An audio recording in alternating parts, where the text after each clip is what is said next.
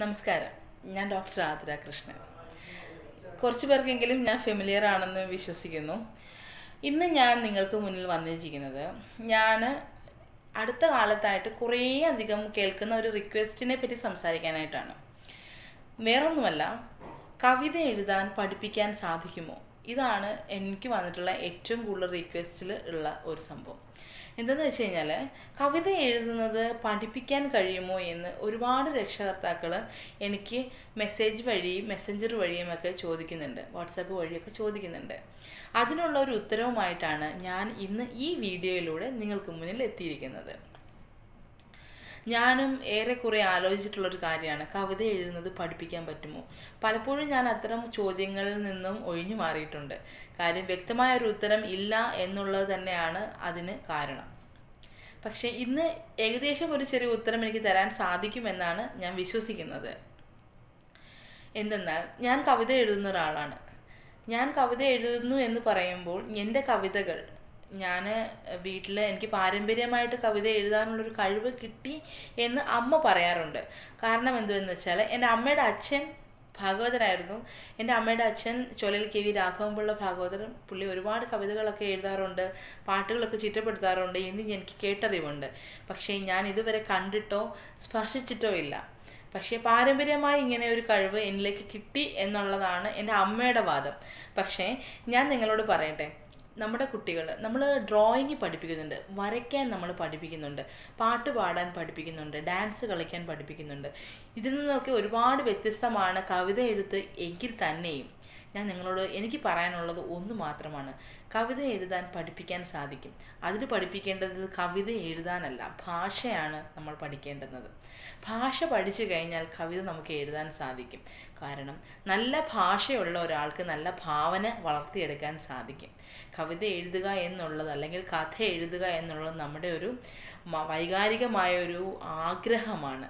അതായത് നമുക്ക് നമ്മളുടെ വികാരങ്ങൾ നമ്മൾക്ക് പ്രകടിപ്പിക്കാൻ സാധ്യമാകാതെ വരുമ്പോൾ അക്ഷരങ്ങളിലൂടെ പ്രകടിപ്പിക്കാൻ അക്ഷരങ്ങളിലൂടെ പുറന്തള്ളപ്പെടാൻ ഒരു കവി ശ്രമിക്കുന്ന ഒരവസ്ഥയാണ് കവിത അഥവാ കഥ എന്ന് എന്റെ ഒരു നിലപാട് എന്റെ ഒരു വിലയിരുത്തൽ എന്റെ അനുഭവങ്ങളിൽ നിന്നുള്ളൊരു വിലയിരുത്തലാണ്. ഒരു കവി അഥവാ ഒരു കഥാകൃത്ത് ചുറ്റും നടക്കുന്ന കാര്യങ്ങൾ വളരെയധികം സൂക്ഷ്മതയോടെ നിരീക്ഷിക്കാൻ കഴിവുള്ളതായിരിക്കണം. രണ്ട് നല്ല ഒരു വായനാശീലത്തിന് ഉടമയായിരിക്കണം. അതായത് വായിക്കുക വെറുതെ വായിച്ച് വിടുകയല്ല. വായിച്ച് ആ വായിക്കുന്ന കാര്യം നമ്മുടെ മനസ്സിൽ കാണാൻ ശേഷിയുള്ള ഒരാളായിരിക്കണം. അങ്ങനെ വരുമ്പോഴാണ് നമുക്ക് ഭാവനകൾ ഉണരുന്നത്. നമ്മുടെ ഭാവനകളുടെ തലങ്ങൾ മാറി മാറി വരുന്ന സാഹചര്യത്തിലാണ് നമ്മൾക്കത് കഥകളായിട്ടും കവിതകളായിട്ടും പുറത്തേക്ക് വരുന്നത്.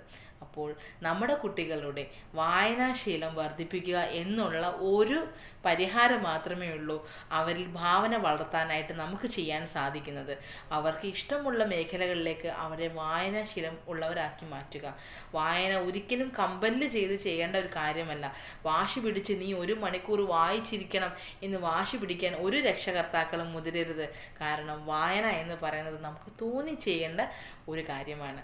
എങ്കിൽ മാത്രമേ നമുക്ക് നമ്മൾ വായിക്കുന്നതിനെ ഉൾക്കൊള്ളാനുള്ള മന മനസ്സ് നമുക്കുണ്ടാവുകയുള്ളൂ. മനസ്സില്ലാതെ ഏതൊരു ജോലി ചെയ്താലും നമ്മൾക്ക് അതിലെത്തിച്ചേരാൻ സാധിക്കുകയില്ല. അപ്പോൾ നമ്മുടെ കുട്ടികളിലേക്ക് വായനാശീലം വർദ്ധിപ്പിക്കുക.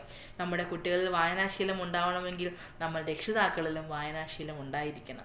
അല്ലാതെ നമ്മുടെ കുട്ടികളിൽ മാത്രം വായനാശീലം ഉണ്ടാവണമെന്ന് വാശി പിടിക്കുന്നത് ശരിയായിട്ടുള്ളൊരു കാര്യമല്ല. അപ്പോൾ നിങ്ങൾ എന്ത് വേണം? നമ്മുടെ വീടുകളിൽ നിങ്ങൾ രക്ഷിതാക്കൾ വായനയെ പ്രോത്സാഹിപ്പിക്കുക. നിങ്ങൾ വായിക്കുക. നിങ്ങൾ വായിക്കുന്ന കണ്ടു വേണം നിങ്ങളുടെ കുട്ടികൾ ആ പുസ്തക താളുകൾ മറിച്ച് നോക്കുന്നതിന് വേണ്ടിയിട്ട്. അങ്ങനെ വരുമ്പോൾ അവരിലേക്കും വായനയിലെ വായനയുടെ ഒരു ആകർഷണം ഉണ്ടാകുകയും അവർ വായിക്കാൻ തുടങ്ങുകയും ചെയ്യും. അപ്പോൾ നിങ്ങൾ എന്താണോ അവരിൽ ആഗ്രഹിക്കുന്നത് അത് നിങ്ങൾ ചെയ്ത് കാണിച്ചു കൊടുക്കുക. അപ്പോൾ അവർ തീർച്ചയായിട്ടും അത് റിപ്പീറ്റ് ചെയ്യാൻ ശ്രമിക്കും. കുട്ടികളുടെ ഒരു പൊതു സ്വഭാവമാണത്. അങ്ങനെ കുട്ടികളിൽ നിങ്ങൾക്ക് വായനാശീലം വർദ്ധിപ്പിക്കാം. വായനാശീലത്തെ എത്രത്തോളം സ്നേഹിക്കുന്നു അത്രത്തോളം അവർ എഴുത്തിലേക്ക് മെല്ലെ മെല്ലെ അടുത്തു വരികയുള്ളൂ. അങ്ങനെ വരുന്ന സാഹചര്യങ്ങളിലാണ് കവികളും കഥാകൃത്തുക്കളും ഉണ്ടാകുന്നത്. അനുഭവം ഏറ്റവും വലിയ ഒരു പാഠം തന്നെയാണ് എഴുത്തിൽ. അനുഭവം എന്ന് പറയുന്നത് വ്യക്തിപരമായ കാര്യങ്ങളാണ്. അപ്പോൾ അതുകൊണ്ട് തന്നെ അതിലേക്കൊന്നും ഞാൻ കടക്കുന്നില്ല. വായനയുടെ തുടക്കം എഴുത്തിലേക്ക് എത്തിക്കും എന്ന് എന്റെ ഒരു വിശ്വാസം. കാരണം ഞാൻ നല്ല പോലെ വായിക്കുന്ന ഒരാളാണ്. വായനയിൽ നിന്നാണ് ഞാൻ എഴുത്തിലേക്ക് എത്തിയത്. അതുകൊണ്ട് തന്നെ ഞാൻ നിങ്ങളോട് എല്ലാവരോടും കൂടെ പറയട്ടെ വായനാശീലമാണ് നമ്മളുടെ ഭാവന ഉണർത്തുന്നതും നമ്മളെ നല്ലൊരു കഥാകൃത്തോ കവിതാകൃത്തോ കവിയോ കവിയത്രിയോ ഒക്കെ ആക്കി മാറ്റുന്നത്. അപ്പോൾ എന്താണ് നിങ്ങൾ ചെയ്യേണ്ടുന്നത്? വായിക്കുക. വായിക്കുകയാണെങ്കിൽ നമുക്ക് കവിതകളും കഥകളും എഴുതാൻ സാധിക്കും. നമ്മുടെ ഭാവന നമുക്ക് വളർത്താൻ സാധിക്കും. അപ്പോൾ ഈ വീഡിയോയിലൂടെ എനിക്ക് നിങ്ങളിലേക്ക് പാസ് ചെയ്യാനുള്ള മെസ്സേജ് വേറെ ഒന്നും തന്നെയല്ല വായനാശീലം വളർത്തുക നമ്മളിലെ ഭാവനയെ ഉണർത്തുക എന്ന് മാത്രം തന്നെയാണ് എല്ലാവർക്കും ഇഷ്ടമായെന്ന് പ്രതീക്ഷിക്കുന്നു. നന്ദി നമസ്കാരം.